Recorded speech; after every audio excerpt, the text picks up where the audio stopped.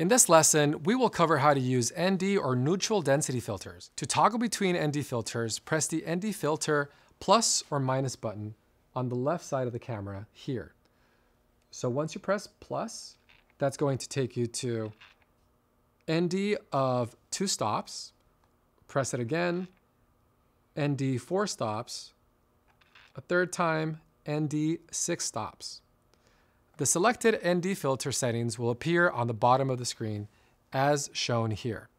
Pro tip, to activate additional ND filters, go to Menu, Camera Setup, Extended ND Range on submenu page 1, and select On.